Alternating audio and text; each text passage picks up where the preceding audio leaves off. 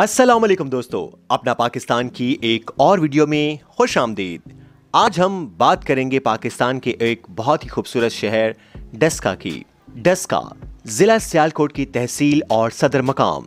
तहसील की आबादी साढ़े चार लाख, ये बड़ा कस्बा गुजरावाला सियालकोट पुख्ता सड़क पर सियालकोट से पंद्रह मील के फासले पर है।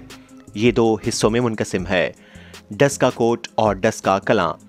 एक रिवायत के मुताबिक इसकी वजह तस्मिया ये भी है कि गुजरावाला, सियालकोट, पसरूर, वजीराबाद और अहमदाबाद से 10-10 कोसों के फासले पर वाक़ है।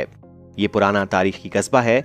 मुगल बादशाह शाहजहां जब अपनी हुकूमत के आखिरी अयाम में कश्मीर गया तो उसने यहाँ पड़ाव किया। शाहजहां ने इस मकाम का नाम शाहजहां आबाद रखा, मगर ये नाम अवामी पजीराई हासिल न कर सका और ये बदस्तूर डस्का ही कहलाता रहा। बर्तन साजी और चाकू, कैंची साजी यहाँ की कदीम सनतें हैं। कयाम पाकिस्तान के बाद डीजल इंजन, फिर वॉशिंग मशीन बनाने के कारखाने कायम हुए। कालीन बानी की सनत भी जोरों पर है। चावल छड़ाई के मुतद कारखाने भी हैं। आँखों के इलाज के लिए सिविल अस्पताल, दारुल बशारत और चीमा अस्पताल काबिल ज़िक्र हैं। तलबा के लिए गवर्नमेंट कॉलेज, हाई स्कूल और तलबात के लिए भी हाई स्कूल है। दारुल अलूम मदीना दीनी खिदमत अंजाम दे रहा है और एक बहुत बड़ी म्यूनसिपल लाइब्रेरी भी है।